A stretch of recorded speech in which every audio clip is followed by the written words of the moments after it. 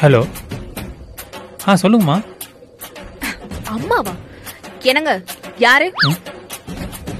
அம்மா. சனிய தனி கொடுத்தன் போனாலும் சும்மா இருக்க மாட்டேது ஐயோ என்னாச்சு? என்னாச்சு? உடம்பு சரியில்லையா. இதெல்லாம் உயிரோட இருக்குன்னு யாரு கேட்டா? பத்தாயிரமா? எதுக்கு பத்தாயிரம்? ட்ரீட்மெண்ட் செலவுக்கு. அதான் கவர்மெண்ட் ஹாஸ்பிட்டல் இருக்குல்ல அவங்க போய் சேர்த்து விடுங்க. அதான் கவர்மெண்ட் ஹாஸ்பிட்டல் இருக்குல்ல அங்கேயே போய் சேர்ந்துக்கலாம்ல. அங்க ட்ரீட்மெண்ட் ஒழுங்கா பார்க்க மாட்டாங்களாம். அதெல்லாம் நல்லா தான் பாப்பாங்க அங்கேயே போய் சேர்த்து விட்டுரு. கவர்மெண்ட் ஹாஸ்பிட்டல் ட்ரீட்மெண்ட் ஒழுங்கா தான் பார்ப்பாங்களாம். நீங்க அங்கேயே போய் அட்மிட் ஆகிக்கோங்க. அத்தை.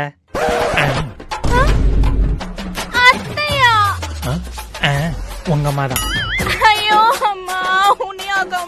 சேர்க்க சொன்னேன் நான் என் மாமியால நினைச்சேன். உங்க அம்மாக்கெல்லாம் ஒரு சட்டம் எங்க அம்மாக்கெல்லாம் ஒரு சட்டமா? Rest in peace to my அத்தை. இது மூஞ்சுங்களை பாரு இதுங்க குறும்படம் போட்டாதான் சரி சிவா. என்னங்க? தலைவலி இது கொஞ்சம் காஃபி போடுறியா? தோ போடுறீங்க. ரெண்டு நிமிஷம் போட்டு எடுத்துட்டு வரேன்.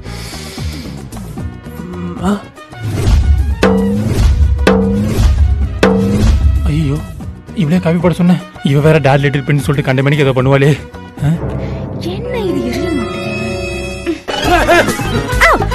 என்னங்க? என்னடி பண்ற? பால் காய்ச்சிருங்க. நீங்க தானே தலைவலிக்குதுன்னு சொன்னீங்க? அதுக்கே இதுல வைக்கிற? அதை வச்சு லேட் ஆகுதுங்க. அதான் டேரக்டா இதுலயே வச்சுட்டேன். என் பொண்டாட்டிக்கு எவ்வளோ அறிவு? நீலாம் இங்க இருக்க வேண்டியவளே இல்லடி. இன்னையோட இதுக்கு ஒரு முடிவு கட்டுற யார் இந்த நேரத்துல ஃபோன் பண்றது? எனக்கு எங்க ஃபோன் பண்றீங்க? ஏடு. பண்ணிட்டேன் லைன்ல ஏறு லைன்ல ஏறு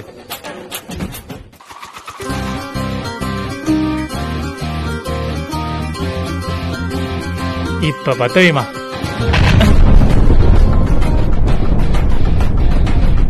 என் பொண்டாட்டியெல்லாம் ரொம்ப பயங்கரம். அவ போக்கிலேயே விட்டா உன் குடும்பத்தையே கெடுத்துரும்.